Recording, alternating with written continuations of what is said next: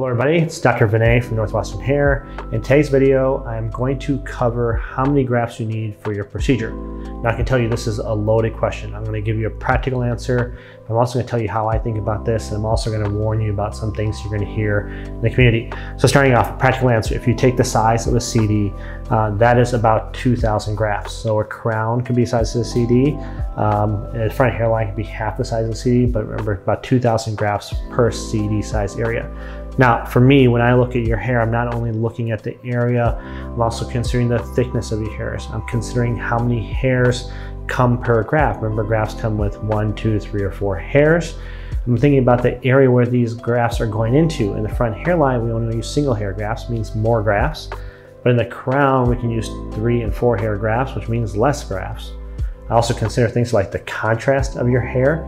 That means how dark your hair is compared to your skin because the more contrast there is, the easier it is to see your scalp and the more hairs you need. So there's a lot of factors that go into determining how many grafts you need beyond the size of the, CD equals 2000.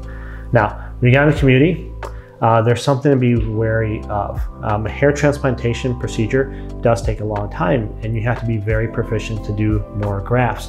If you go to a clinic that has a less experienced team or doesn't use the latest technologies, they can tell you the limitation of grafts, and this is in Chicago, is about 1,800 to 2,500 in a day.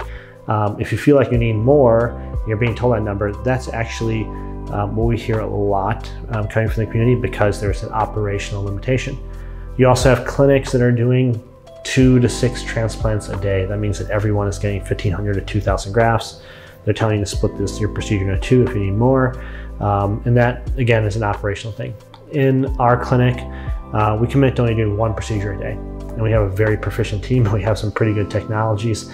So 3,500, 4,000 grafts, 5,000 grafts in one day, uh, usually not a problem as long as like, your skin's doing well with it.